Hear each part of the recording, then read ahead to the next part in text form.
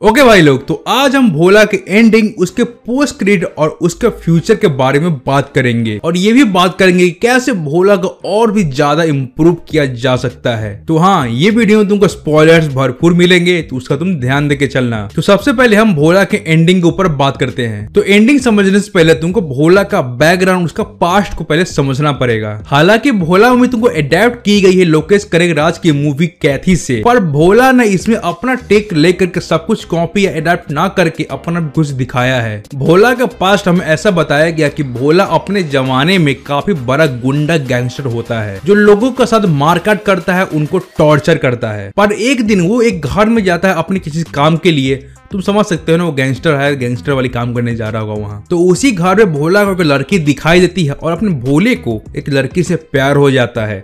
यहाँ तुम कह सकते हो लव एट फ़र्स्ट साइड वाला मामला है। देन उसके बाद अपना भोला कई सारे तरीके, कई सारे बहाने बनाता है वो लड़की से मिलने के लिए। एट दी एंड भोला को इतना ट्राई देखने के बाद लड़की को भी प्यार हो जाता है। कभी कभी इस टाइप का सीन देख के मैं भी सोचता हूँ, मैं भी ट्राई कर लू गया फिर अपना औकात नज़रों के सामने आ जाता है, कैसे उसने भी तेरी काटी थी।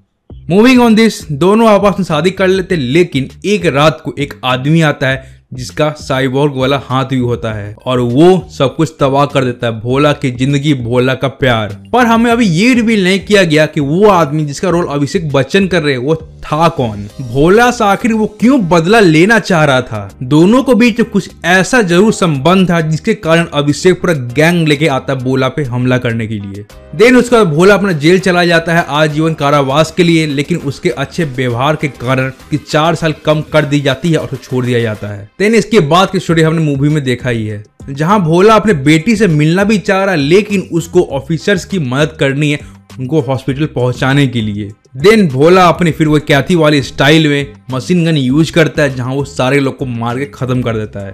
पर एक बात है, जिससे हमें भोला का भौकाल नज़र आता है, दहशत नज़र आता है। देवराज भोला का फ़ोटो देखते ही खुद को गोली मार लेता है। निठारी भोला को देखते ही अपने पैर पीछे ले लेता है, डर के मारे कांपने लगता है। और ये सब कनेक्टेड है तुमको भोला और अभिषेक बच्चन के कैरेक्टर के साथ। कि पास्ट में ये दोनों का कुछ बड़ा मामला था, और उसके बाद क्रेडिट्स की बारी आ जाती है जहाँ एक शिप है और शिप पे भोला का सबसे बड़ा दुश्मन खड़ा है। अभिषेक बच्चन कैरेक्टर शिप का एक मेंबर अभिषेक के पास आके बोलता है कि भोला वापस आ चुका है। जहाँ हम अभिषेक का एक साइबोर्ग वाला हाथ देख सकते हैं और उसके चेहरे पे साइबोर्ग का मार्क। देन अभिषेक ये सुन के आग बबूला हो जाता है और अपने हाथों से साइबोर्ग वाले हाथों से गन को मचोर डालता है और उसके बाद एक डायलॉग मारता है। मौत का चेहरा बदला है। तो इसका रिलेटेड मेरे पास थ्योरी है तुम सुनो।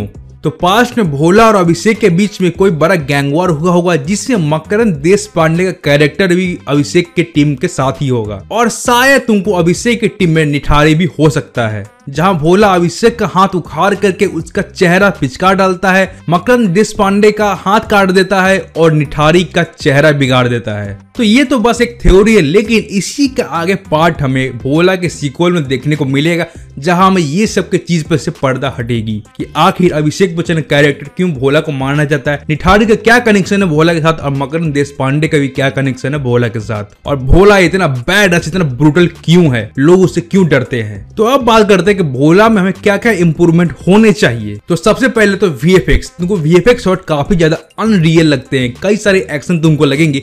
क्या ये फर्जी टाइप एक्शन है? मतलब कि जहाँ भोला किसी बंदे को पंच मार रहा था, उसका हड्डी ऐसा निकल रहा है और फेक लगता है। जहाँ बाइक वाले सीन आते हैं, वो लगता है, भाई अननेचुरल है अनरियलिस्टिक है। मतलब बीएफएफ से तुमको अच्छा वर्क नहीं किया वो तुमको पॉलिश नज़र नहीं आती है। तो ये तुमको कोई बड़ा ऐसा प्रॉब्लम नहीं है तुमको आराम से सीक्वल में सेट किया जा सकता है फिक्स किया जा सकता है। देन मुझे भोला के सीक्वल में थोड़ा और मासीनेस चाहिए था जो फिर भोला में नहीं मिल पाया। उन्होंने ट्राई तो किया, थोड़ा मासीनेस देने की, पर वो मुझे डिलीवर्ड होते वो नज़र नहीं आया। और अभी अजय देवगन ने कुछ ऐसा प्लान है कि भोला को भी और ज़्यादा एक्सटेंड करने वाले हैं। मतलब सीक्वल तो आएगा प्रीक्वल त्रिक्वल बहुत कुछ आ सकता है भोला के साथ। पर एक कंडीशन है, भोला अच्छा चला तब। और सबसे बड़ी बात, हमें भोला में वो आइकॉनिक सीन देखने को नहीं मिला, जब क्या थी, बैठ के बिरयानी खाता है। और हमें भोला में ये देखने को मिलता है कि भोला वाला बैठ करके चिकन चबा रहा है। हाँ एक तरीके से ये ठीक था कि भोला ने अपना कुछ नया टेक लिया, जहाँ कैथी का वो सीन काफ़ी आइकॉनिक है। तो उसको ना खराब करते हुए अपना कुछ नया बनाए, उसके लिए प्लस पॉइंट है। तो तुम अपना ओपिनियन बताओ कमेंट पे कि तुम क्या सोचते हो ये सब के बारे में और तुम भोला को किस डायरेक्शन में जाते हुए देखना चाहते हो। अगर तुम्हारे कोई फ़ैन थियोरी हो कमेंट में बताना, बैठ के डिस्कस किया जाएगा। और तब तक के लिए देखते रहिए सिनेमैटिक बस्ट